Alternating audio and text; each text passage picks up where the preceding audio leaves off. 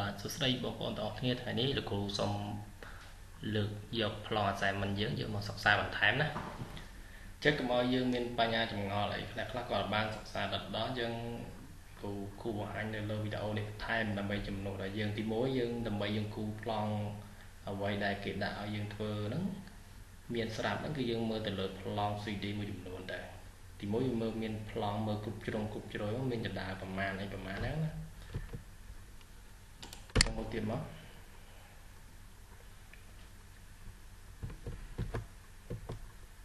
នេះយើងមើលប្លង់នេះមកភ្លើងមើលពីចំហៀងហ្នឹង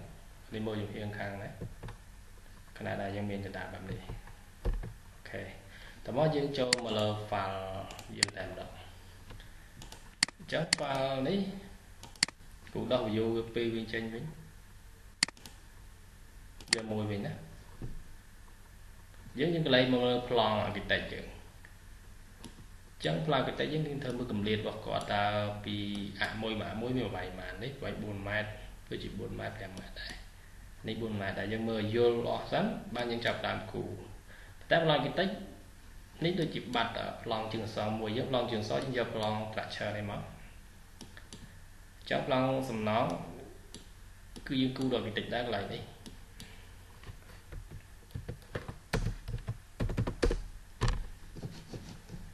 ខេអញ្ចឹងយើងមានប្លង់ហ្នឹងអញ្ចឹងហើយយើងមើលបានឲ្យយល់គ្រប់ជ្រុងគ្រប់ជ្រោយហើយបានយើងចូលទៅក្នុង file AutoCAD ថ្មីយើងនេះដើម្បីយើងគូប្លង់ហ្នឹងឡើងវិញអញ្ចឹងមុននឹងយើងគូប្លង់ហ្នឹងចេញលុះត្រាយើងបង្កើត layer ដូចបានខ្ញុំបានប្រាប់ពីមុនអញ្ចឹងទីមួយយើងត្រូវស្គាល់ប្រភេទអាគារយើងជាប្រភេទអាគារមានអឺ ឈ្មោះឲ្យខ្លះធ្នឹមមានអីចឹងទៅឬក៏ផ្លាយគតិចវាមានអីខ្លះដូចថាផ្លាយគតិចចាស់យើងគូឡាគតិចផ្លាយគតិចដំងគឺមានវល់ចឹងវល់កម្រាវាប្រហែលនេះរៀងបង្កើត layer មួយមកយើងដាក់ពណ៌ column មកតមកយើង line ថៃនេះយើងរើសពាក្យប្រភេទអីគេប្រភេទប្រភេទអក្សរនេះមកនេះ line ណា អញ្ចឹង line យើងជាលក្ខណៈធម្មតាទេអញ្ចឹងយើងអត់មានរើសបន្ទាត់ដាច់ដាច់អីទេអញ្ចឹងមួយទៀត line weight ហ្នឹងកម្រាស់វាកម្រាស់វាទៅអញ្ចឹងយើងអាចយក0.30រហូតដល់35ឥឡូវខ្ញុំយកត្រឹម35ចុះអូខេតមកទៀតខ្ញុំយកពាក្យមួយទៀតយើងយកពាក្យអឺ hack wall hack wall យើងបាយសុតខាត់មក អូខេ hack wall តមកយើងបង្កើតទៅលើ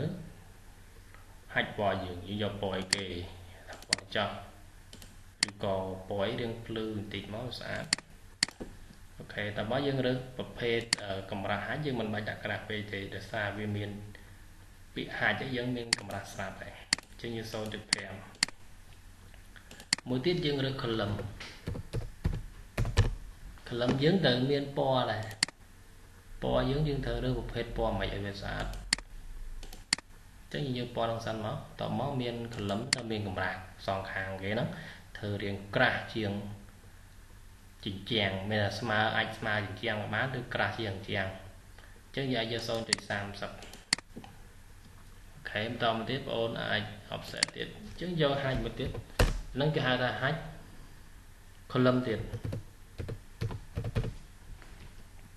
ចឹងយើងអាចឆែកវីដេអូហ្នឹងផងងាយស្រួលងាយស្រួលយើងធ្វើ layer និងបង្កើតប្លង់ថ្មីថ្មីថែមទៀតអញ្ចឹងយើងរើសពណ៌មក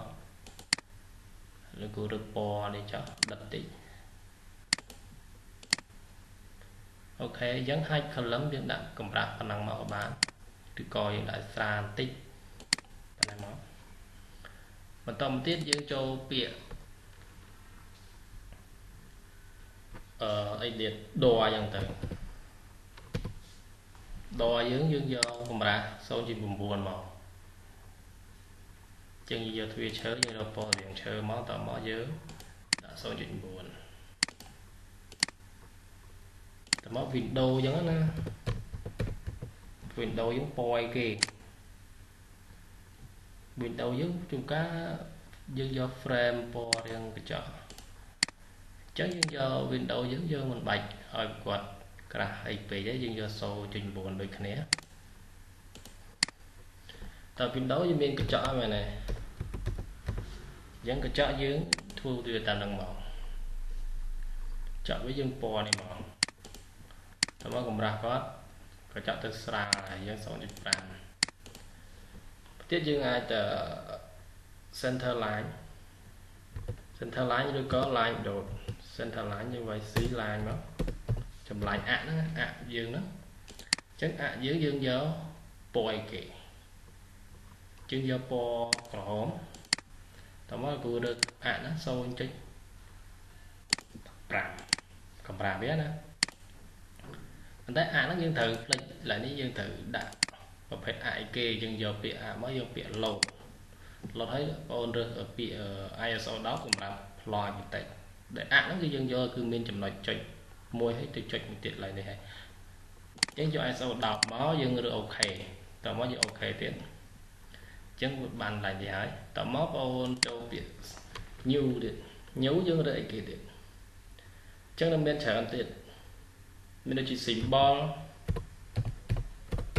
យើងយក symbol សិននេះជា layer គេតិចទេនៅ layer សំណងយើងដាក់ផ្សេងទៀត symbol យើងដាក់ដូចដើមឈើមកហើយកម្រាស់គាត់យើងដាក់0.05 តមកទៀតយើងមានអឺ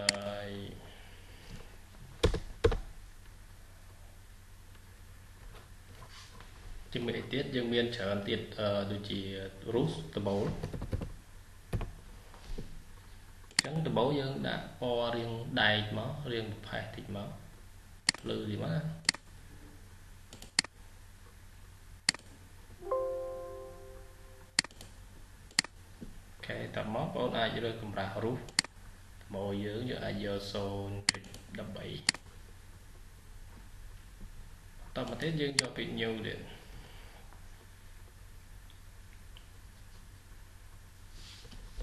តមកបងប្អូនរើស layer ទៀតមក layer យើងមានអីខ្លះទៀតឥឡូវយើងបង្កើតប៉ុណ្ណឹងសិនយើងយកយើងបានប៉ុណ្ណឹងសិនមកចាំយើងចាប់ដើមគូណាអូខេឥឡូវគូបង្កើតសសរមុនអញ្ចឹងយើងសសរយើងរើអីគេយើងរើពាក្យចាំយើងខ្វះកន្លែងណាយើងថែមខ្លួនយើងទៀតអញ្ចឹងយើងរើពាក្យ column មួយមកគូគូរចតង់ OEC enter click point មួយវាយពីទឹក4ជ្រុងក្បៀសពីទឹក4ជ្រុង enter អូខេតមកគូ offset វាមួយទឹកដើម្បីរកចំណុចកណ្ដាល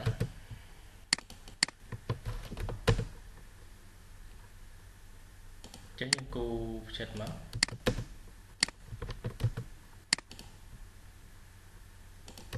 យើងគូលុបអានេះវិញចឹងគ្រូចាក់ហាច់វាហាច់អីគេហ្នឹងហាច់កលឹមចឹង edge enter ខ្ញុំយកពាក្យ solid អូខេហើយគូយកពាក្យ add មក add លើចំណុចទាំង4ហ្នឹងទៅមកអូខេណាអូខេតមកយើងត្រូវត្រូវការបង្កើតអាអញ្ចឹង x y ចេញមកតាមអញ្ចឹងយើងអាចចូលកន្លែង view យកពាក្យ display use icon យកពាក្យ origin ឥឡូវយើង block វាសិនមក b enter ដើម្បីយើង block block គឺដើម្បីកុំឲ្យ object ជាង copy ទៅវាជាដោយអញ្ចឹងណាពាក្យបាត់ object មួយអញ្ចឹងយើងត្រូវការ block វាងាយស្រួលនៅពេលយើងចង់កែវាទៀត select វាមកអូខេតមកបងប្អូនធ្វើការគូអាក់វាមកអាក់ហ្នឹងគឺគ្រូវាយដាក់ center line មិញហ្នឹង C យកពាក្យ center line មកអូខេតមកយើងរើស x line ឥឡូវ enter v enter មកយើងវាយ xl enter h enter អញ្ចឹងគ្រូវាយដើម្បីឲ្យបន្ទាត់នឹងដាច់ដាច់យើងវាយ l t អេយើងវាយវា50 30មកសិនមកតើវាត្រូវរបស់យើងអត់អូខេយើងយកប៉ុណ្ណឹងសិនតើមកយើងទៅកលេចមើលប្លង់យើងមើលមិញគឺមានប្រវែងរបស់គាត់ពីអា1មកអា1គឺ2ម៉ែត្រ4អាមួយទៀត4ម៉ែត្រ4ម៉ែត្រ4ម៉ែត្ររហូតអញ្ចឹងយើង offset 4ម៉ែត្រសិនមក ចឹងគឺ offset 4ម៉ែត្រសិន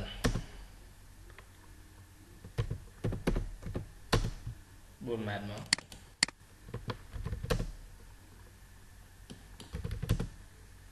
ទាញ offset រហូតដល់4ម៉ែត្រ4000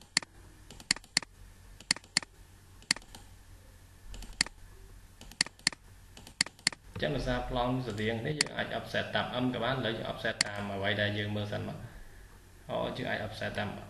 m ក៏បានតាមបាច់ក៏បានដែរ1 2 3 4 5 6 7 8 9អញ្ចឹង9ដងណាអញ្ចឹងយើង offset តាម m ដោយសារប្លង់ហ្នឹងងាយស្រួលយើងអាច offset បែបនេះក៏បានដែរ O enter វាយ4000ចុចលើវាមួយ versus m enter ទៅចុចមួយមក1 2 3 4 5 6 7 8 9ណា1 2 3 4 5 6 7 8 9ចឹងដល់មួយទៀតយើងបានចុចនេះតមកនៅសល់កន្ទុយវានេះប្រហែលកន្ទុយវាគ្រូឲ្យប្លង់ពីដែរហ្នឹងគឺ2250នេះ22ហើយនៅក្រោយនេះគឺ2ម៉ែត្រ4អញ្ចឹងយើងមើលតាម offset 22 50ខាងនេះប្រហែល offset 2ម៉ែត្រ4ម៉ែត្រ2ម៉ែត្រ4ទឹកអូខេយើងមកមើលទៀតអញ្ចឹងយើងបានអាក់ដេកនឹងហើយនេះអា x នេះនិងអា y អា y ប្រហែលយើងមើលនេះ4ម៉ែត្រ2ម៉ែត្រ1ម៉ែត្រ4ម៉ែត្រកន្លះអញ្ចឹងយើងមានការខុសគ្នាយើងមិនអាច offset តាម m បានទេ អញ្ចឹងនឹង offset ពី4ម៉ែត្រហើយបាន2ម៉ែត្រណាយើងមើលមួយមួយសិនកុំឲ្យច្រឡំអញ្ចឹងយើង offset 4ម៉ែត្រ4000 1 2 2ហើយបានប៉ុន្មានទៀត2ម៉ែត្របាន offset 2ម៉ែត្រ2000 2000ហើយប៉ុន្មានទៀតអញ្ចឹងទោះមើលប្លង់ទៀតមកអូយ offset ច្រឡំសុំសុំទៅផងនេះមិញ អានេះ2ម៉ែត្រទេណា2ម៉ែត្រហើយបាន4ម៉ែត្រកន្លះ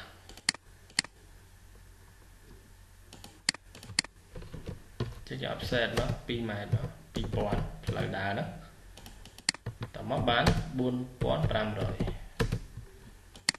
អូខេ4500ហើយយើងមកមើលប្រវែងវាយើងមិនមែនមើលប្លង់គេទេគឺយើងឆែកមើលប្រវែងវាពុំម៉ែត្រកន្លះហើយបានកន្លែងបន្ទុកទឹកនេះគឺ1380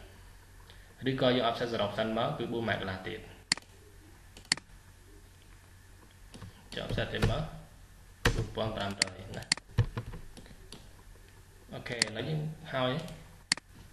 នៅទៅក្នុងតសនេះទេអញ្ចឹងយើងត្រូវការគូអវាស្អាតចាំយើង design កន្លែងនេះទេនឹងយើង copy តសដាក់សិនមកយើងមើលសិនតសយើងដាក់កន្លែងណាខ្លះ ហ្នឹងមានថាយើងគូតាមអ្វីដែលគេឲ្យគឺយើងឆែកមើលកន្លែងហ្នឹងកន្លែងណាអត់មានសសរយើងដាក់តាមហ្នឹងដែរអញ្ចឹងយើង copy សសរសិនមកឥឡូវគូ copy ដាក់ទាំងអស់សិនណាកន្លែងនេះក៏ដាក់ដែរនេះក៏យើងដាក់ដែរ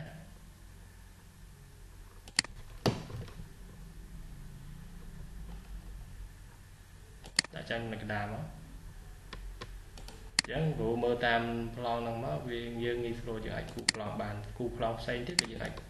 បានច្រើនដែរអញ្ចឹងយើង copy តាមហ្នឹងមកអ្វីដែលខ្ញុំឲ្យហ្នឹង copy បែបហ្នឹងដែរមកទៀតមកយើងកុំគិតថាកន្លែងណាអត់មានសសរយើងយើងចាំលុបសសរក្រោយវិញកុំឲ្យវែងណាយើង copy select ទាំងអស់មក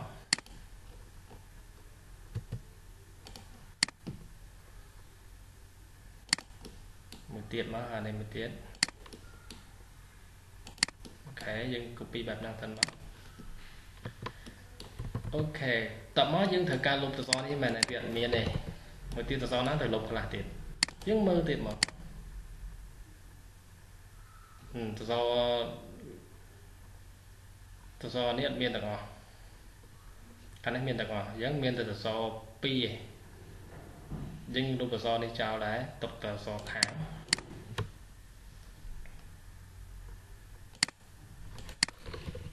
លុបមក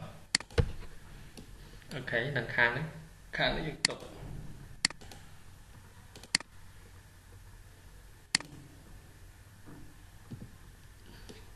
ខាងនេះយើងទុកណាអញ្ចឹងមួយទៀត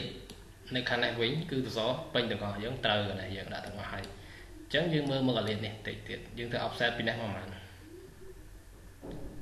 offset ពីនេះមកទៅសមមួយគឺ3 31 20អញ្ចឹងយើង offset 31 20សិនមក31 20តោះមកយើង copy សរសរដាក់មកអញ្ចឹងសរសរដាក់កន្លែងណាខ្លះនេះ copy សិនមកមកវិញ copy ទាំងអស់តោះមកយើង copy คลิกកន្លែងនេះមួយតើមកយើងឆែកមើលកន្លែងហ្នឹងទៀតតើត្រូវអត់ ចឹងកន្លែងនេះអត់មានតសទេយើង copy មកកន្លែងនេះមក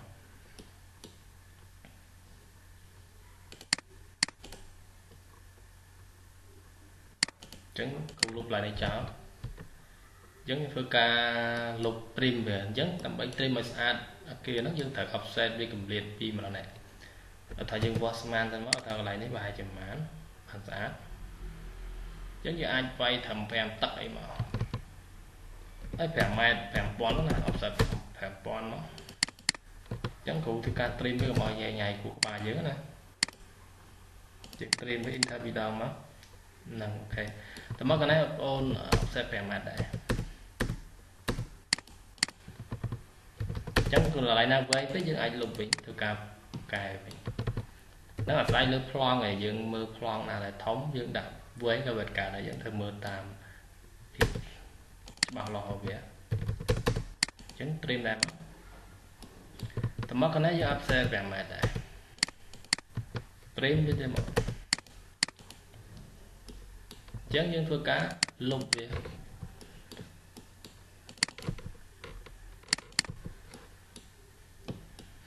អូខេយើងលុបអញ្ចឹងនៅកន្លែងណាយើងដែលយើងអត់យកវាពីកន្លែងនេះយកទៅយកដែរមិញនេះកន្លែងអានេះអត់មានទេ យើងគូតម្លានេះមួយមកអញ្ចឹង trim ទៅមក